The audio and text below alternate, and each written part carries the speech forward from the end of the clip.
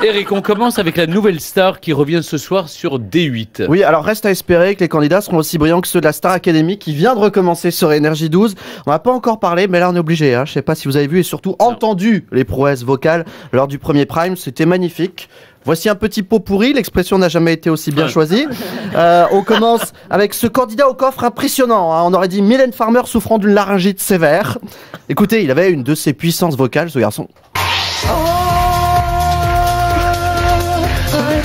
Si quelqu'un pouvait leur tirer le piano qu'il a sur le pied, hein, il a mal apparemment.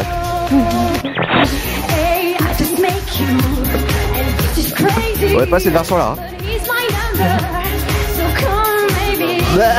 Pour une seule bonne raison. Après avoir fait le tour du monde, c'est être à la maison. Bah écoute, retourne-y, hein, retourne-y dans ta maison, nous ça nous pose pas de problème, on n'est pas contre, hein. Putain, ce, ce prime de la Starac, c'était vraiment, comme vous direz Catherine, une nuit magique hein, pour tous les amateurs de Une nuit chansons. Une nuit tragique, ouais. Parce que en plus d'avoir de la voix, euh, il maîtrisait aussi à merveille les paroles des chansons comme euh, Envole-moi de Jean-Jacques Goldman qu'ils ont interprété. Alors visiblement ils l'ont pas chanté en français, hein, parce que moi je, n'ai pas compris cette phrase. Écoutez. some people. Non plus, il a pas compris. hein. Beaucoup de jeux, mes manets sont pipés, je crois que c'est clair. hein, ça ressemble bien à la peu chanson. près. hein. Le message il est a fait puissant. du yaourt parce qu'il ne pouvait pas se souvenir des paroles. Ouais. Ah là, oui, il nous a fait un bon gros yaourt. Fromage blanc même. hein. Alors, le, le pompon, c'est que les mecs de la technique euh, dans la Starac étaient à peu près aussi brillants pendant ce direct. Écoutez le pauvre Florent Pagny qui s'est quand même retrouvé en pleine chanson avec un bruit de magnéto qui rembobine. Hein. Euh, très belle version remix de Et un jour, une femme et une emmerde aussi. D'avoir passé des nuits blanches, d'avoir passé des nuits blanches à Pas mal, non Ouais, alors là, c'était plus la mierda, la mierda que la waya, la waya. hein. Pauvre Florent. Ça, c'est un peu la, la chouma. Ah.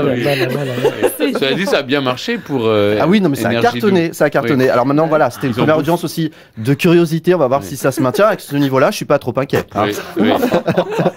Ce que vous voulez dire, c'est plus c'est mauvais, plus ça attire Bah de oui, monde. Je crois, ouais. Les gens ont envie de rire. C'est hein. rassurant. Mm. De toute façon, les téléspectateurs ne suivent pas la Starac pour les chansons. Bah non, tout ce qu'ils veulent, ce sont des aveux aussi croustillants que ceux que vous nous aviez fait, Catherine, il y a quelques temps, dans une émission de France 3. Je sais pas si vous vous en souvenez.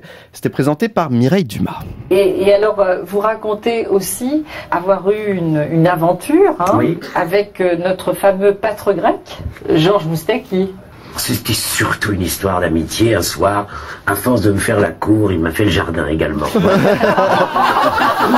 C'est joliment dit, hein C'est joli. Faut pas s'étonner après que Jack Lang l'appelle Georges Moustaku, hein À un moment donné, c'est c'est bien mérité. Donc voilà, c'est ce genre d'anecdote-là qu'on aimerait bien au château de la Starac. D'ailleurs, c'est si ce nouveau château, parce que c'est un nouveau château cette année. Je m'en suis pas remis. là. Non, il vient de comprendre en fait. Euh, non, euh, je vous remercie. euh, je suis pas né de la dernière pluie. hein, Vous l'avez fait à l'anglaise ou à la française On va revenir au château de la Starac. Je voulais dire une chose quand même au producteur. Si ce nouveau château s'avérait hanté, il n'y a pas de problème. On peut leur envoyer un grand pro de l'exorcisme qu'on a vu dans l'émission Au cœur de l'inconnu sur Énergie 12. Alors c'est un exorciste un peu particulier puisqu'il peut tout désenvoûter, hein. Même les vaches. Jacques l'éleveur installe un hôtel de fortune au bord de l'enclos, à quelques pas des vaches. Mais cette fois, le désenvoûtement commence mal. Il a oublié l'eau bénite. Ah bah. Ah bah c'est toi le gros malin, hein. Malin qu'il traque d'ailleurs dans toutes les parties de votre corps, écoutez. Il se cache encore quelque part dans le corps de Sandrine. Reste à trouver où. Cherchez, cherchez. Tout au bout, je vois les pieds. Il est au bout des pieds. Ah, le diable au bout des pieds. Bon, il a donné un bon coup de hache. Elle gueulait encore un peu, mais au moins elle était plus envoûtée. On peut pas tout avoir non plus. Mmh, oui, Satan la bite. euh, Le mal est en vous. Le mal est en vous. Dis donc. Bah vous l'avez dit. Oui, vous l'avez dit. Quand je pense que vous êtes très pour moi de ça, Je vais appeler cet exorciste. C'est ça, le qui m'avait l'air en plus des Vous plus crédibles. deux, pâtés et un Allez, on termine avec d'autres gros malins. Oui, alors des candidats de jeux télé. Euh, D'abord, un grand spécialiste de la musique chez Nagui sur France 2 dans Tout le monde veut prendre sa place. Alors, il devait reconnaître euh, le, le nom euh, de l'interprète de cette chanson. Euh, je vous passe à la chanson, vous allez voir, c'est super difficile quand même. Qui chante en 78 Mais son mari tient pas le tempo, tombe au gringo pistolero, dans la crème chantilly des gâteaux. Ah non, écoutez. Et Jill Seeking. C'est ça. Bah, le jour où tu verras Alain Souchon chanter Bamboléo, tu m'appelles. hein et, et on va finir pour vous faire plaisir, Stéphane, avec euh, cette fois une grande spécialiste de l'histoire de France. Vous pourriez la prendre pour secret d'histoire. Enfin, pour elle, l'histoire, c'est plutôt un secret qu'autre chose. Euh, c'est cette, euh, cette candidate des 12 coups de midi sur TF1. Elle était très calée, écoutez. Quel roi des Francs a été couronné empereur d'Occident en 800 Louis XIV Et il a trôné pendant longtemps, Louis XIV. Hein. De 800 à qu'elle 1715, près de 1000 ans quand même. de règne. C'est pas pour rien qu'on l'appelle le roi soleil, le gars.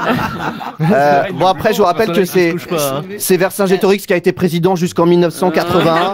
Mais bon, ça, vous le saviez déjà, c'est pas la peine que. Ah.